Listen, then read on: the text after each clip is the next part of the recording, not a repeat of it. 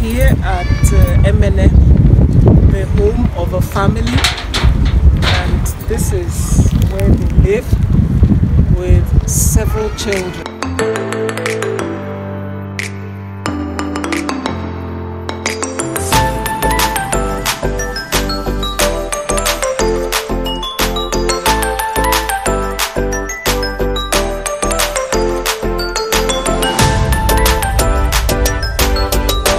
Ihe m bịara ime ka anyị nwere ike itinyere gị na ụmụ gị.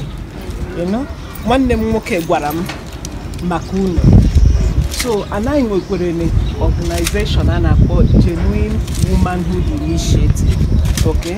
So ihe anyị na-emekwana itinyere ụmụ nwanyị aka ụmụ nwanyị nwe ụmụ na-enweghị ndị ọzọ na-etinyere ha aka so nwanne m nwoke gwa m maka gị.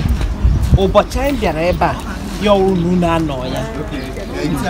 So m gwa ya ka ọ gwa gị na anyị ga-abịa today wụ satọde onye nke ahụ kwana nwa m nwaanyị.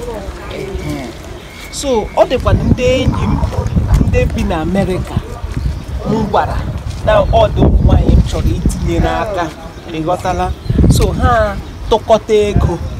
Si m were gaa chọọ ndị ụmụ nwaanyị ndị ahụ tinyere ha aka.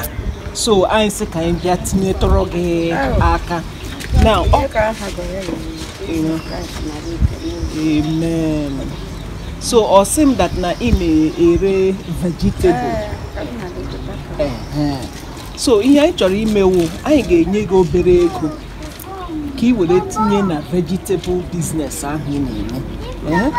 Then anyị nọtụkwa anyị abịa bịa lee mana otu isi na-eme Ehe. because ihe anyị chọrọ ụmụ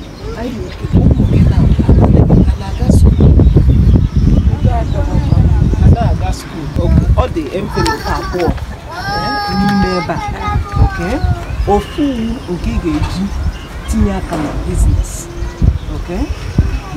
nke a awụrụ nke ị ga-eji zụtata ụmụ nri or something ị ga-eji nye ụmụ gị. Ị ghọtala? Eh, chineke gọzie unu. Ịnụ Eh, ihe mere nke a jehova nke eluigwe. Ihe mere nke a nwoke eluigwe nke atọ. Onye si nwe mgbe ọbụla chọrọ nta. Onye mere nwere onye bụ okenye kwụrụ nwa mgbe.